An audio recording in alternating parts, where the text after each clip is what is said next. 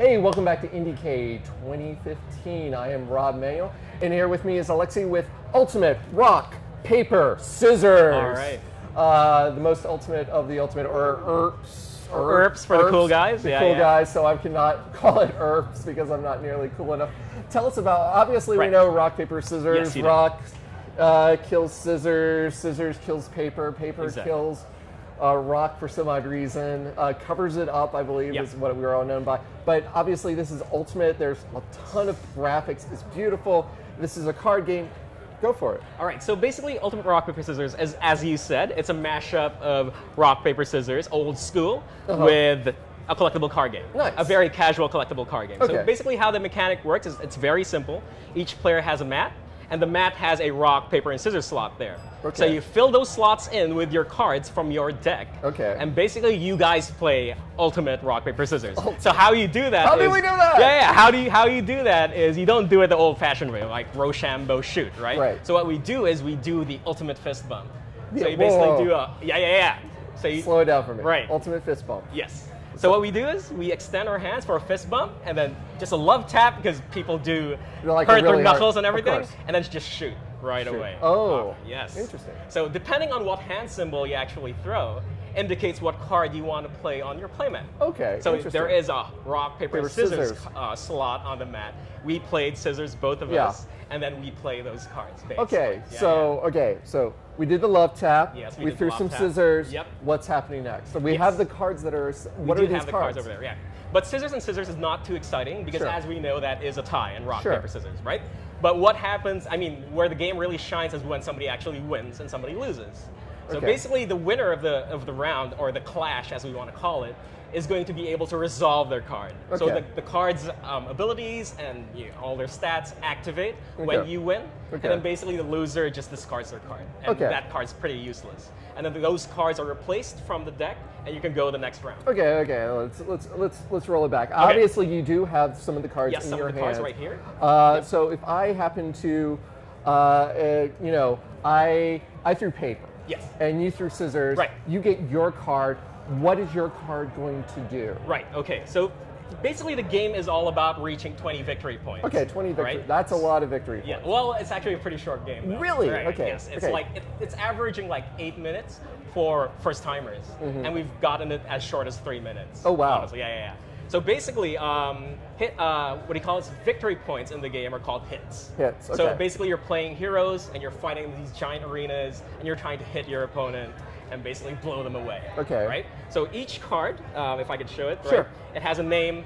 It has a hit value or a victory point Okay, value. let me right let me just look Okay, at this one right here. This Right one here, is called giant. this is called giant. It says Yep. stun any two arms at the Yep. start of the next turn. Yes. Uh, it also has a four four. What is this symbol? And Yeah, that is the hit symbol. this is a hit symbol. So this one hits for four. Yes. And then I have a lightning bolt with a five on Yeah, it. that is called energy. Okay, right. hold on. We got a lot of stuff going on here. Hey, okay, it's a lot let's simpler than you Okay, okay. No, we're gonna break this down. So four hits. Okay, Yes. let's start with that. Okay. What is the four hits? That's Right. So when you play this card, for example, and then you won that particular round, Sure. yeah, you gain the four hits. So you gain the four hits. Yep. So this is the four hits that are going into your victory points Yes. for the 20. So that's what Right. makes it much shorter. Yes, As you said, I don't have to win 20 rounds. Yep. I just have to get enough, of, like five of these, That is exactly. and I'm a winner. Yep. Okay, excellent. All right. Okay, now we're going on to the next one. Now So- we go to energy. Energy, okay, energy. Yeah, Okay, yeah. okay, So okay. energy is sort of a comeback mechanic. Okay. Because energy is won when you lost that round. Okay, so energy. Okay, so I threw paper, and I have I have this guy is on there. He was my paper. Yep. But I get five energy. So what can I do with If you energy? lost. If I lost. If the opponent played scissors and you lost, Right. instead of getting your hits, you get your energy. so what do I get for energy? Right. So energy is actually used, like I said, as a comeback mechanic because you only actually gain it when you lose. Okay. And you actually play heroes in the game. Okay, So they're the yellow cards right here. Okay. All right. And their abilities, which are basically effects in the card, cost energy. Oh, okay. Right. So in the future, if you win a round, Pull this guy right, and if you have enough energy, And you can just play you can them. play Now you ability. do. How do you? So this one, this is uh, crane. Take the top three arms of your discard pile and put them in any number on top of the loadout in any order. Yeah. So you basically the the cards that have been discarded, you can sort of like grab a couple of those, put them in top, and you know exactly what you're drawing Exactly. into. Yep. Um, so when do you play this card? Right. So only when you have enough energy, and if you won the previous round. So before the Oh. ultimate fist bump, before the clash, you'd want to use your ability right And away. you have to have won the previous Yes. round. So it's a reward thing as well. So you might have lost a few rounds before, but since you won this one, then you, can have actually use your your. Yes. so that's sort of like the comeback. You happen to have something that's really good Yep. that goes into it, Yep. and that goes into the energy. Now, Yeah. uh, The now effect. the effect. Now we have the effect in the middle. Uh, Right. stun any two arms at the start of the next turn. Yes. Turn. Right. What are the arms? Okay, so arms are actually the cards in the game. Okay. So we're going more for a sort of weapon theme. So the deck in the game is called a loadout, Uh huh. right? And the cards are actually called arms. Okay. So because we were doing, you know, fist bumps and stuff, we call them arms, Uh-huh. like a weapon, like Sure. ammunition or whatever. So that's what arms are. But basically, the effect is also triggered when you win with that card, and So- only when you win. Only when I win Yeah. with the card. So for this, uh, it is I have two arms, so I can stun two of their cards. Right. So basically, I can figure out like what they're going to throw Exactly. next time. You're the first one to ever figure that out. What stunning means, right? so, so just in case everyone else is Yeah. just not quite up there. Uh, so I, uh, you threw your your scissors, Yes. and I threw paper. Yep, You you got this. Okay. Let's say you got this card, Okay, sure. and so you're looking at me and you're like, okay. Uh, you know, you obviously like to throw paper. Yep. We're going to get you to throw paper again. Yes. We're stunning your rock and we're stunning your scissors. Scissors. And now you, and with that, you have to throw paper. you have to throw paper. So you know Exactly. exactly going into Oh, it, yeah. and I'm gonna win it again For sure. my scissors. Exactly. And I'm gonna put the card that I want down on scissors because I know that one's gonna hit. Exactly. Oh my god, this Precisely. is yeah. This, is, actually the most powerful card in the game is right now. you just gave me the most powerful card, Yes, and of this is a ridiculous yeah, card. yeah, yeah. There are cards that stun just one card. Those are not too fun. So I Mm-hmm. Wanted to give you the most like a, like a card in 50-50 Oh, yeah. sort of chance. Yes, against, But even then, like you know exactly, it's like you can stun like the one card that's Yes, going to that's like come against you. So it's going to be like a draw or like at least a win coming out of it. Uh, so the question comes down to like what does happen during a draw. Right. In a draw, you Uh-huh. actually gain both players gain victory and gain energy. Okay. Just to move the for, the game forward, right? Right. Just to keep moving the game forward. Excellent. Sorry about that. So you have okay. So it's 20 points. We have energy. We have stuff. Uh, this is a lot of stuff. I also noticed that on this box, Yes.